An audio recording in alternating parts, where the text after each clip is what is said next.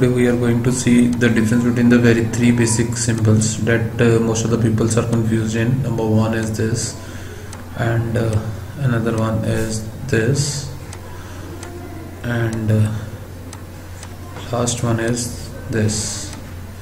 So I'll tell you what is the difference between these three and uh, why they are called so. Very first very first symbol is of buffer buffer is basically used in between to connect two circuits or we may say whenever there is a need of balancing between the loads of the two we need one buffer or we may say buffers are needed whenever we have to make the circuit synchronize let us suppose the let us suppose the time taken by a current from this uh, from this let us suppose the current takes a time to reaching from this junction to this junction 50 seconds 50 nanosecond. And we want to reduce this time to 40 nanosecond. So for this what we need we have to place one buffer in between these two so that it will reduce the time from this junction to this junction. Hope you understand what is the function of buffer. Now second one is very important and this is what we call NOT gate see NOT gate is a gate which is also called inverter. Whatsoever your input is it is inverted that let us suppose here point A and uh, here it is 0 1 so at the output it is 1 and 0 mind it one very important thing is in NOT gate there is a bubble. If there is there is a bubble. If there is no bubble then it is a buffer.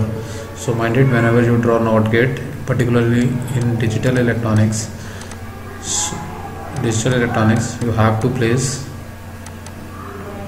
you have to place this bubble. And last one is uh, where you are uh, already familiar with this. This is a PN junction diode. This is called PN junction diode which is used in semiconductors. And and its detail is already covered in my another video so here only here in this lecture I would like to explain the you know basic difference between these three symbols these three symbols that is a buffer a NOT gate and a semiconductor PN junction diode. In my early videos also I I think I did a little bit mistakes in which in which there is no bubble and I am saying it is a NOT gate. But particularly in a NOT gate there is a bubble. Mind it this is very important and you I am requested you to just correct it. If I did some mistake then I apologize for that.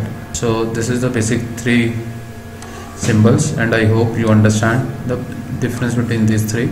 All these three have a different applications in the different domains but sometimes the students get confused in between these three. So I would like uh, through this uh, video I want to convey this message that you should not deduct your marks due to the non identification of the these symbols. So be careful while drawing particularly the digital electronic students. Whenever they draw an inverter or a NOT gate they do not you should not be forgot about placing this this bubble at the end of the triangle. And when we put a slant straight line then it is act as a diode PN junction diode where this triangle part is your p type p side and this straight line is n, n type. So hope you understand and uh, stay tuned till the next video. Thank you